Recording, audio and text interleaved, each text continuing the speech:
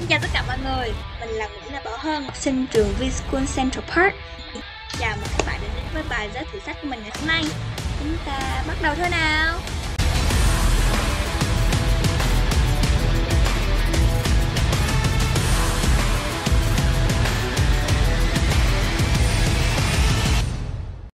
Thì xin chào tất cả các bạn, à, cũng như phần giới thiệu đầu video của mình, mình là Bảo Hân và đến với bài giới thiệu sách lần này à, mình xin giới thiệu cho các bạn cuốn sách của một tiểu thuyết gia người Mỹ, người mà đã sở hữu các tác phẩm theo thể loại trinh thám, hình sự, tình cảm thuộc hàng bestseller.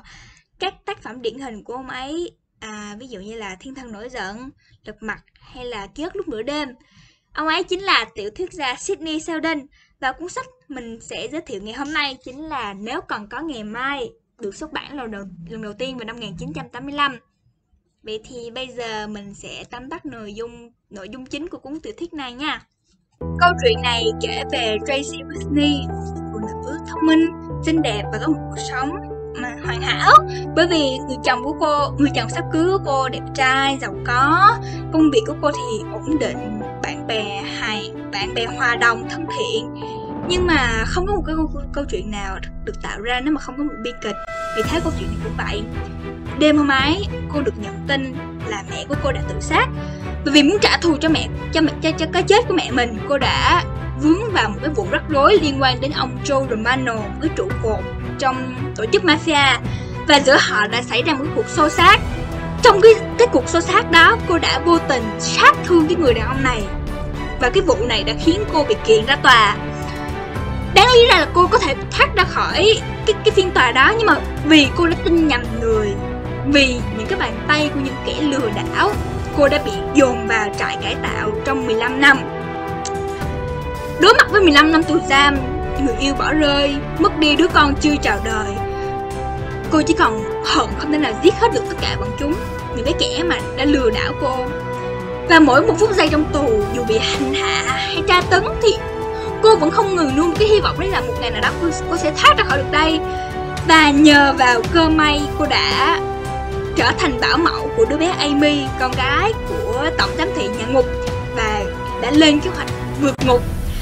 Ngay cái hoàn khách mà cô chỉ cần chạy ra ngoài để mà chạy vào trong chiếc xe để thoát ra khỏi cái cái tòa ngục này thì đứa trẻ mà đứa trẻ Amy cô làm đứa trẻ Amy đó bị rớt xuống hồ và bây giờ cô đang đứng giữa hai cái ranh giới một là cứu đứa trẻ Amy và từ bỏ cái cơ hội tự do này. Hai là cô sẽ chớp lấy cái cơ hội tự do đó và mặc kệ cái đứa trẻ hàng đêm cô chăm sóc, lo lắng, bầu bạn với cô bị chết xuống, bị bị chết ngạt. Và cô đã quyết định cô chạy cô chạy và cô chạy thật nhanh, nhưng mà cô không chạy về phía của uh, chiếc xe mà cô đã chạy về phía của đứa trẻ Amy. Cô đã nhảy xuống và cứu cái đứa trẻ Amy đó. Nhờ vào cái việc mà cô cứu đứa trẻ này là khiến cho mình cực kỳ bất ngờ bởi vì mình cứ nghĩ là cô sẽ bị cái sự hận thù này điều khiển nhưng mà không trong tận sâu trong lấy đồng của cô nó vẫn còn một chút yêu thương. Và cũng nhờ vào cái sự việc này cha của đứa trẻ Amy đã quyết định ân xá cho cô thoát ra khỏi tù. Và sau khi ra khỏi tù cô đã uh, trả thù những cái người đã lừa dối cô. Nhưng mà đến cuối cùng thì cô không thể nào mà quay về cái cuộc sống như bình như bình thường nữa bởi vì cô đã có tiền án hình sự không có một cái công ty nào nhận cô vào làm việc cả. Lúc đó cô mới nhớ đến một cái lời đề nghị của một cái người đàn bà trong tù đó chính là nếu mà sau khi ra khỏi tù mà cô gặp vấn đề gì đó thì hãy đi tìm đến một cái ông à, thợ kim hoàng ở New York và cô đã làm điều đó. Thì cái ông thợ kim hoàng ở New York này ông tên là Conrad Morgan. Vụ đầu tiên mà ông giao cho cô đó chính là trộm kim cương của một bà tỷ phú tên là Louis Bellamy. Mặc dù lúc đầu cô rất là phân vân bởi vì cô không muốn bị vào tù lại không muốn quay trở lại cái căn tù đó nhưng mà vì cuộc sống quá khó khăn nên cô đã quyết định thực hiện cái phi vụ đó. Và phi vụ của phi vụ đầu tiên của cô chính thức bắt đầu ở đây. Từ cái phi vụ đầu tiên này cô mới bắt đầu những cái phi vụ tiếp theo, bắt đầu một cuộc sống mới với hàng tá, hộ chiếu, diện mạo khác nhau và trở thành một trong những cái tên tội phạm nguy hiểm nhất trong cái hồ sơ của FBI và tổ chức cảnh sát quốc tế. Thì đó chính là tóm tắt nội dung của câu chuyện này. Nó rất là gây cấn và mình nghĩ là các bạn nên đọc nó một lần trong đời. Thì trong mỗi một cái tác phẩm đều sẽ có một cái câu nói hoặc câu văn khiến cho chúng ta phải dừng lại và suy nghĩ. Và cuốn sách này cũng có một câu tương tự như vậy.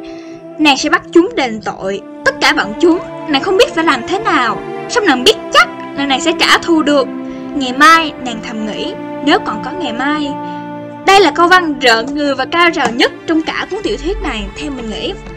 Khi mình đọc xong cái câu văn này, cả người mình cứ trở nên rạo rực và cứ nổi da gà như thế nào á. Bởi vì bởi vì nó, cái câu văn này nó thể hiện một cái nỗi hận sâu sắc của Tracy đối với những người đã lừa dối cô. Nó cho mình, nó tạo cho mình một cái cảm giác rằng là cô Tracy này chỉ hận không thể nào mà ăn tươi nuốt sống những cái con người giả dối đó. Mặc dù là hận thù không có gì là tốt cả, nhưng mà nếu đặt trong cái hoàn cảnh của cô Tracy lúc đó khi còn ở trong tù, thì cái sự hận thù này chính là động động lực cho cô để tiếp tục sống, để tiếp tục sống và thôi thúc cô vượt ngục. Và cũng nhờ và cái sự hận thù này, cuộc đời của cô đã bước sang một trang mới, mở ra một cái biết bao phi vụ đầy gai cấn và đầy hồi hộp. Nhưng ngoài ra, nó còn khiến cho mình phải suy nghĩ thêm một điều nữa. Chính là liệu mình sẽ không bỏ cuộc giống như cô Tracy hay không? Liệu rằng mình có đủ nghị lực và niềm tin để sống tiếp hay không? Sau khi trải qua biết bao nhiêu là nỗi oan ức và đau khổ mà cuộc đời này mang lại, hay là mình sẽ sụp đổ và không tài nào đứng lên được? Và sau một hồi mà mình suy nghĩ thì mình nghĩ rằng là nếu mà mình là Tracy, mình mình sẽ không thể nào mà đứng lên được giống, không thể nào đứng lên được giống như cô và mình sẽ từ bỏ ngay lập tức.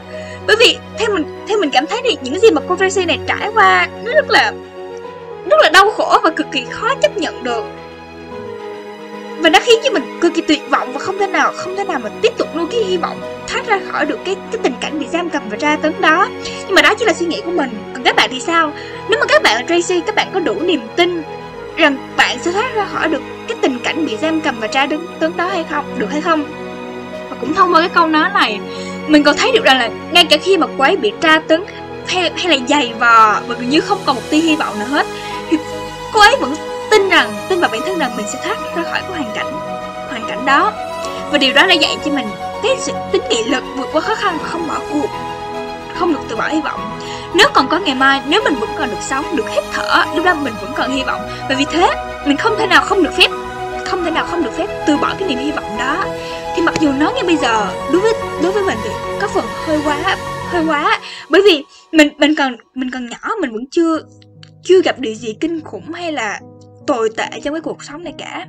Nhưng mà biết đâu được, trong tương lai mai sau mình sẽ gặp một điều tương tự. Và vì thế, mà mình cần phải khắc cốt ghi tâm cái bài học mà cuốn sách mà cái tiểu thuyết này mang lại cho mình. Và đó chính là những cái cảm xúc và suy nghĩ mà câu nói này đã để lại cho mình sau khi mà đọc cái cuốn tiểu thuyết này. Một cái bài học về tính nghị lực và niềm tin vào cuộc sống. Là bài giới thiệu sách của mình. Thì hy vọng rằng à, các bạn yêu thích nó và cũng như là hy vọng trong cái quá trình theo dõi video này nó đã mang lại cho mọi người những cái trải nghiệm với các khu vực cảm xúc khác nhau theo mình thì mình nghĩ rằng là trên thế giới này có rất và rất rất nhiều thể loại sách cho các bạn lựa chọn. Nên mình tin rằng rồi các bạn sẽ tìm được một thể loại phù hợp với cá tính và cũng như là sở thích của chính mình.